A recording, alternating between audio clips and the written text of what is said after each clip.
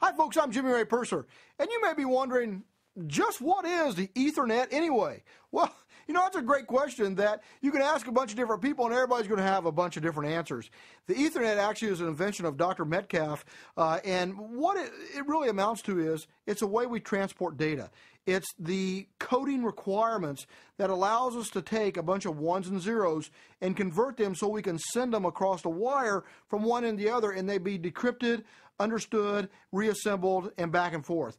The Ethernet is one of many transports out there today. There's Ethernet, there's Token Ring, there's ATM, there's MPLS, um, and all those have different roles, if you will. Ethernet is certainly the king. It's the dominant technology in local area networks today. I would venture to say that 99% of networks out there today are using Ethernet. It's cheap, it's fast, it's quick to set up, and it's incredibly reliable uh, in the whole world of networking. So, Ethernet in itself is basically a transport. Ethernet is like a highway um, th- that transports your data back and forth. It's not the car, it's not the flashing signs or the bridge. It's a highway that makes sure that I've got a path from one city to another city, and I can map that out and I can understand that technology. And really, in the end, that's what Ethernet is all about.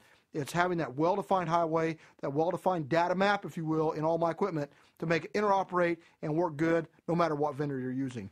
I'm Jimmy Ray Purser, and that's what the Ethernet is all about.